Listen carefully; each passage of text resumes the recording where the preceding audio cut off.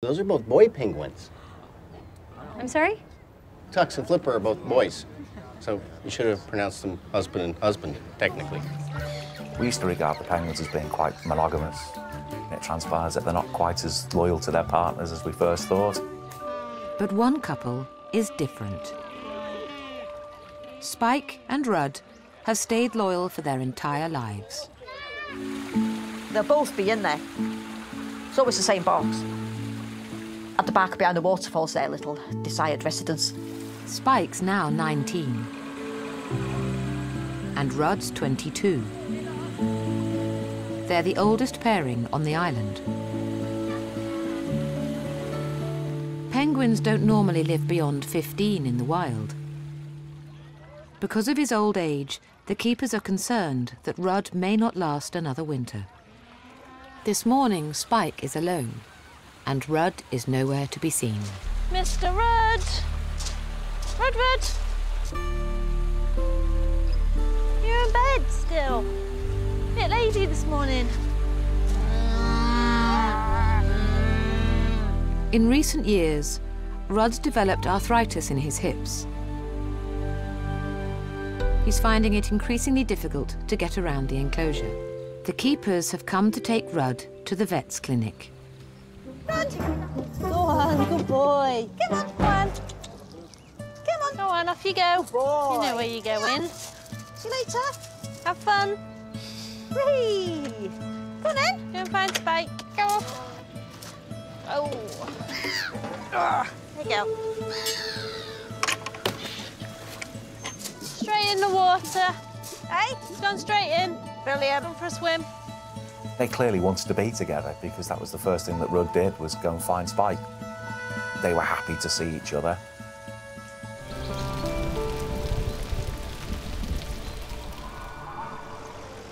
There are many biologists and scientists who worry about what may be lost with the current extinction of frogs.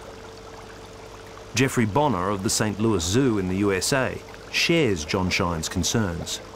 Oh, take a virus like HIV. We tested 14 different frogs and found out that a third of them produced a peptide, a substance on their skin, that completely inhibited the transmission of HIV cells, virus cells, from dendritic to T cells. In other words, they stopped the transmission of HIV.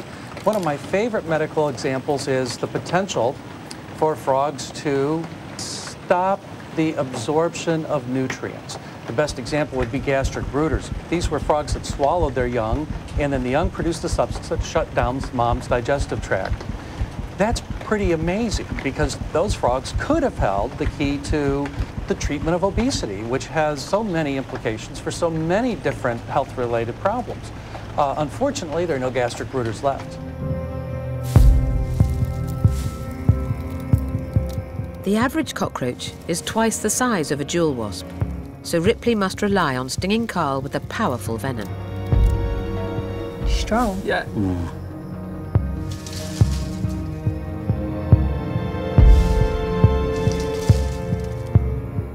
Ripley stung him right under his head. This helps to paralyze him so he can't escape. Ripley's venom blocks a neurotransmitter in Carl's brain, keeping him alive but making him sluggish and slow moving. When Ripley stings Carl, she basically just turns him into a zombie. She stung him for a second time and then began to cut off his antenna.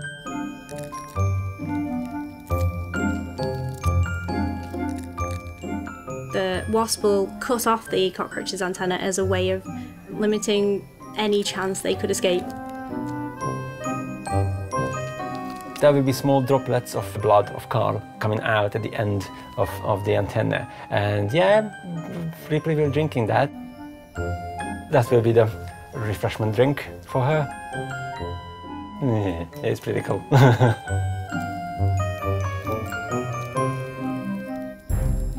Try to drag it. yeah, yeah, she's dragging, she's just pulling it into the tube.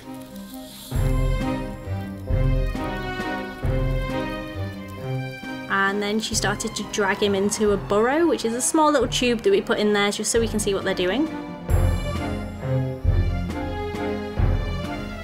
That's good. That's really good.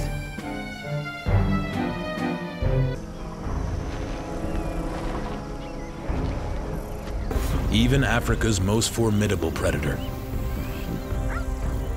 occasionally turns to the dark side. These Herculean beasts are brothers.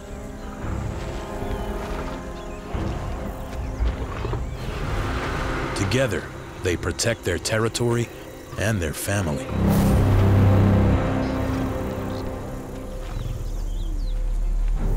But there's one rule that every male lion must learn.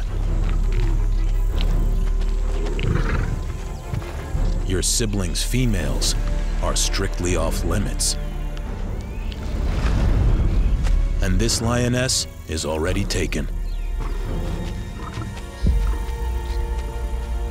But the younger brother wants some action.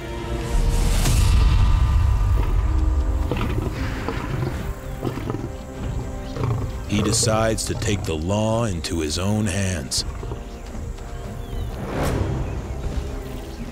He makes his move. He's overstepping the mark.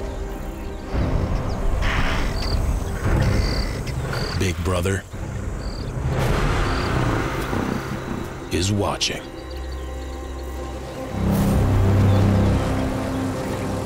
Attempting to steal a mate has its consequences.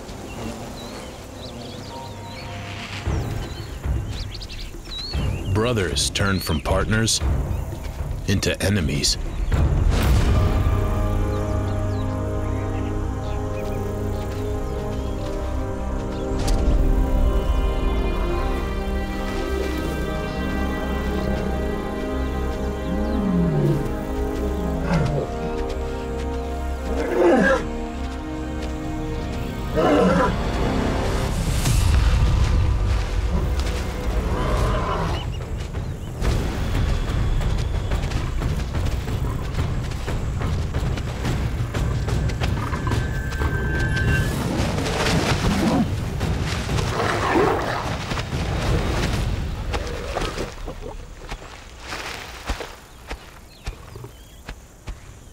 Boss makes it clear. This female is not up for grabs.